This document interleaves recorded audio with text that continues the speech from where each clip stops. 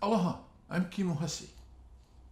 When I talk to people about uh, uh, about things they need to think about with regard to um, ukuleles, I talk to them about that in in three different categories or areas. The first of these um, is looks, uh, and the other two are playability and sound.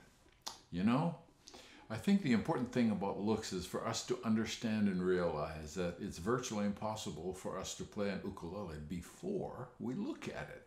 So I wanted to start uh, start this session by showing you the back uh, of this ukulele, um, and this the back of this ukulele is uh, is uh, Amazon rosewood. Is that correct? Yes.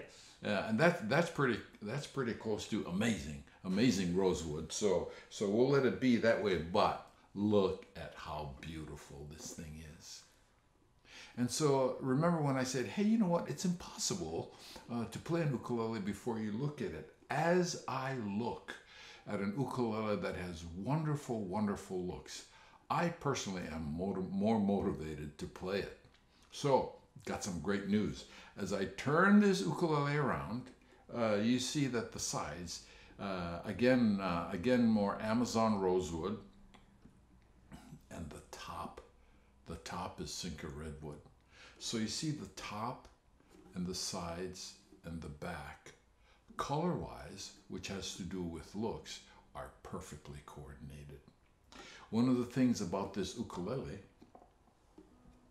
on this side is that it has uh, it has a side port here. And what the side port does uh, is to provide um, the listener, like me, or the player, I should say, opportunity to have a certain body of sound come uh, come directly to me, and I, I love that uh, because it just makes the it just makes the playing experience a lot more pleasurable. So the other thing I would uh, invite your attention to with regard to this ukulele is that is that the whole top of it, design-wise, actually, including the sides and the back, are what I would term classically beautiful. Um, I'm a guitar player that used to be a guitar player, and uh, one of the things I always remember about classical guitars, especially, is that they also had they all had this wonderful, wonderful mellow and mellow look about them that was just classically beautiful. Nothing was overstated. As you see on this ukulele, nothing is overstated. So it is very, very well coordinated. One of the most wonderful and intriguing things about this ukulele is it is a baritone ukulele. Listen to this. Then have now that is a baritone sound. Uh, but before we get to that, um, I wanted to tell you that the playability, the action of this ukulele is just just wonderful. So we see that uh, the looks, the looks and the playability uh, are, are very well coordinated uh, with each other. And so the third thing that uh, we would consider is sound. Remember again that this is a baritone ukulele, so just listen to its sound.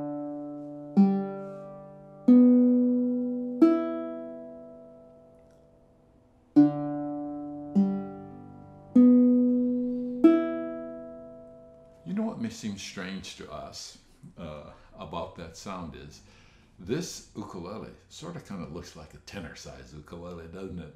Uh, at least when, when I first looked at it, it looked like a tenor size ukulele, but it is a baritone. It's a smaller size baritone uh, that's designed to fit in a smaller case, uh, which makes it easier uh, for us uh, for us who travel and take ukuleles, for you who travel and take ukuleles um, um, to travel with. So one of the wonderful, wonderful things that Pat Megowan did, Pat Megowan is the person who made this uke, and it's my pleasure now to be visiting uh, with him and experiencing all these wonderful, wonderful instruments. But again, this is a baritone, so let me play a scale for you here.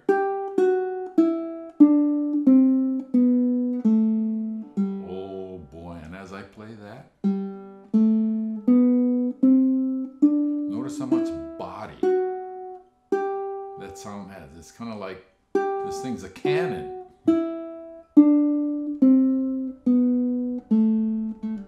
Let me try this up here.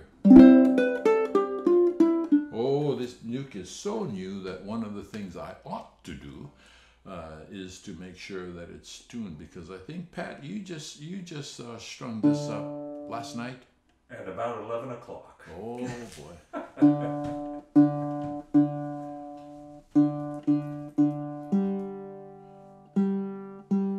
so, as a result of that, uh, the ukulele is just uh, it's still in the process of saying hello, how do you do, uh, and and so it may require frequent tuning, which is which is fine. Okay, I better hurry and play you a song so you can hear this ukulele sounds.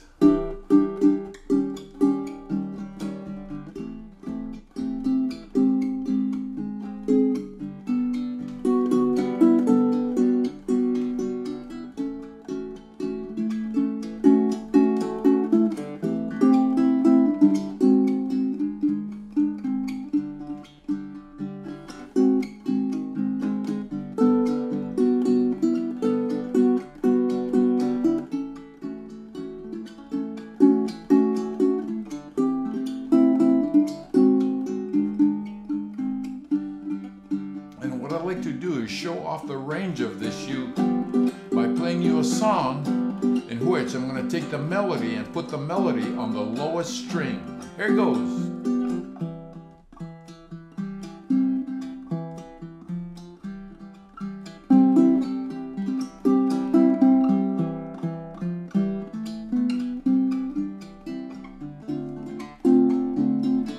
Well coordinated it is? Can't get lower than that.